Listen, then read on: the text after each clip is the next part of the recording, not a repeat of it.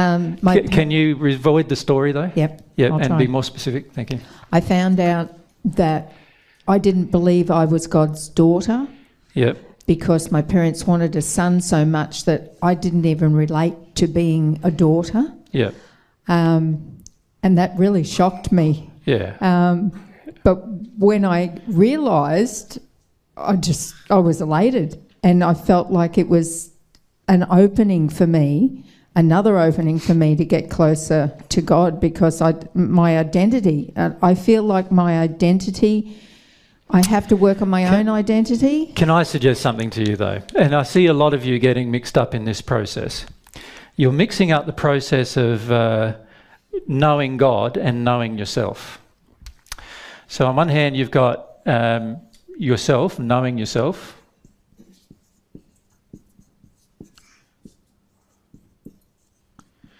And then on the other hand, you've got knowing God.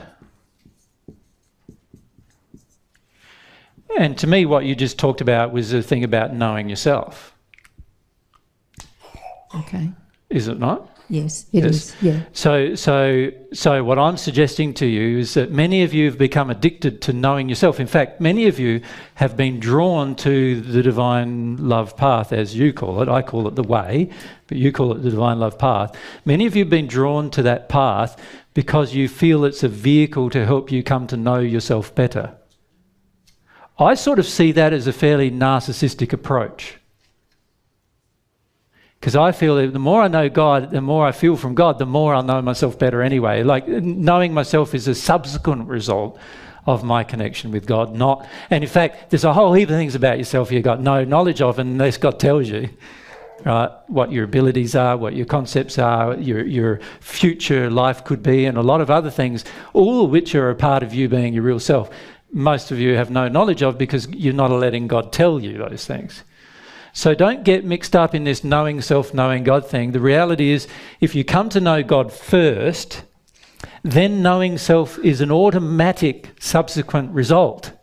You follow me? Yes. But a lot of what you, a lot of what uh, each of you are doing is you're rubbing out this knowing God thing, and then you're trying to know yourself. Right? And I'm saying to you, well, you will never know everything about yourself if you do that. Ever. There's, there's people in the sixth dimension and in the spirit world who have been there tens of thousands of years and they still don't know things about themselves because they're not hearing God tell them about themselves. Okay. You follow me? Yeah, makes a lot So, sense. so it's much more reliable to in terms of a process of self-discovery. It's far, far more reliable first to know God, and then through that relationship discover yourself, know yourself. You follow me? yes, I do. Much more reliable. So you to be careful about this, uh, you know, this desire to know yourself but ignore God. And because I'm basically saying to you right now that if you do that, you will never know yourself completely, ever, ever. Okay, thank you.